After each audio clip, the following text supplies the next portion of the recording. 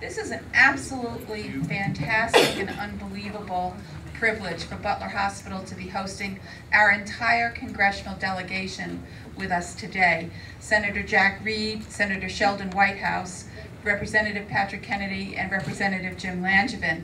Uh, we're equally in their debt for the fantastic support they've been able to get us for our Alzheimer's research here. And we have our um, premier researcher, Dr. Stephen Salloway, and Mr. James Burdick with us to tell us a little bit about how this will actually affect the people of the state of Rhode Island for the better.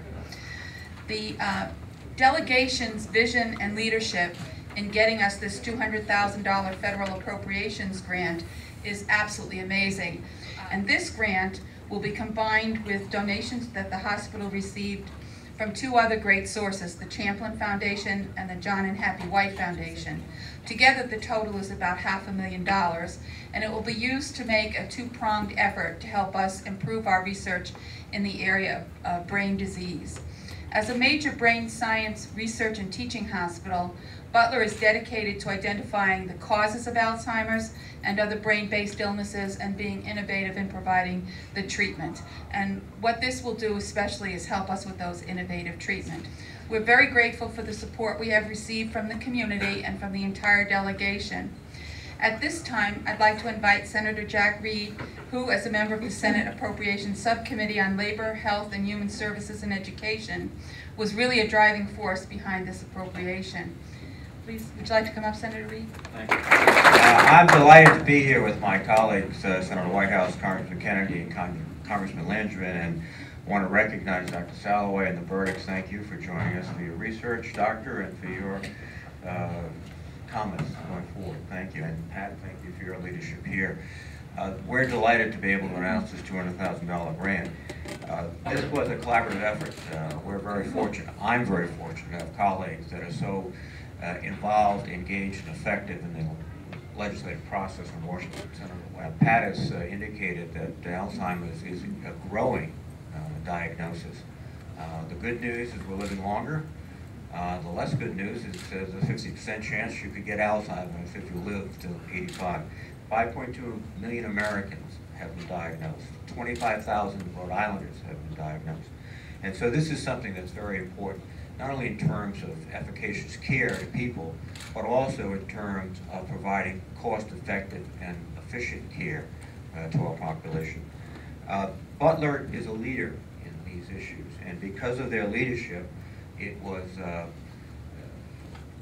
easy uh, to get the support because they recognize in Washington the, the national and international leadership that Butler is playing. I'd next like to invite Senator Whitehouse to come up and say a few words. So it's a wonderful delegation, and everybody worked hard to get this done, and I'm proud to be a part of it. And as we look not back or around us, but forward, we see really astonishing uh, estimates of what the cost of Alzheimer's will be for our healthcare system and for our population and for our country if we don't do a better job of treating, preventing, and diagnosing it. And so this is really important work, and what you all are accomplishing here at Butler and what the new facility will allow you to expand upon is really vitally important. Vitally important for all the families who have to carry such an extraordinary burden of caregiving for loved ones who suffer from this illness, and it's incredibly important for uh, the patients and for uh, all of us who are seeing this as a growing public health crisis in our nation. So I'm very honored to join my colleagues in the delegation in supporting this in my relatively smaller role. So thank you all very much. Thank you, Senator. Next, I'd like to invite up Congressman Kennedy. Um, he needs no introduction to this room. Well, thank you very much, Pat, and uh, thank you all here at Butler for putting Butler and Rhode Island on the map here in the United States, for being really a center of excellence in the treatment of Alzheimer's, but in the treatment of mental health in general.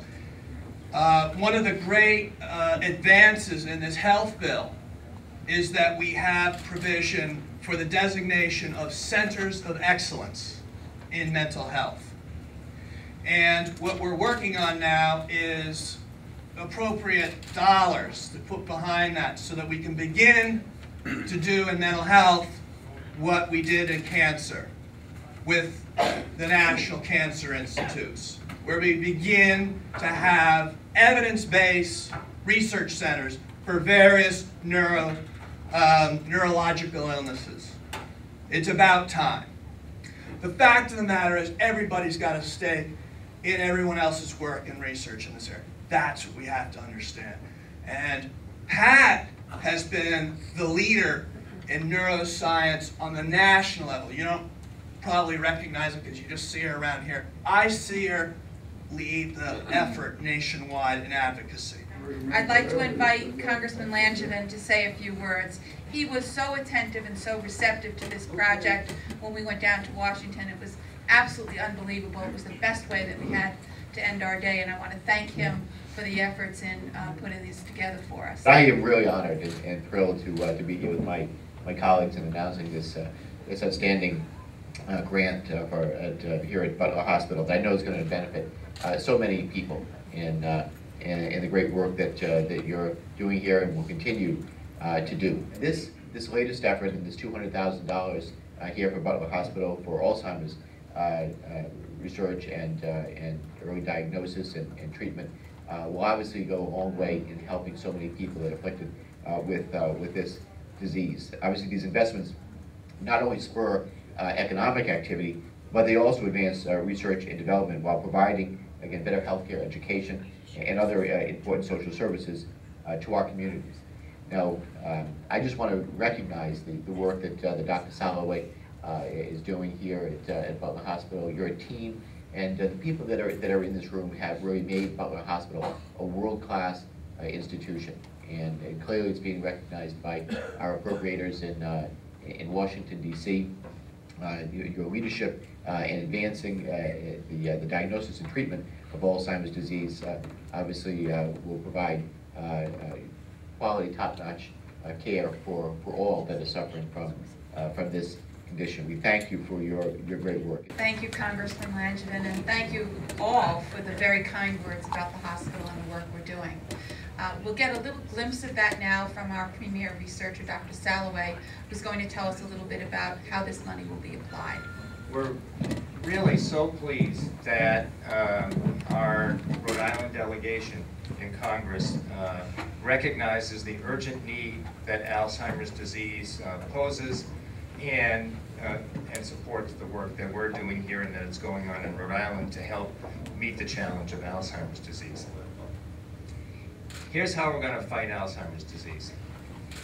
The dementia phase of Alzheimer's is really a late stage of the illness. So Alzheimer's begins in the brain with accumulation of proteins like amyloid protein and tau protein uh, many years in most people before the symptoms really become a problem. So that gives us an opportunity, if we get better diagnostic tools, to recognize who's at risk, who's beginning to develop this process, who, who might develop it, and then intervene.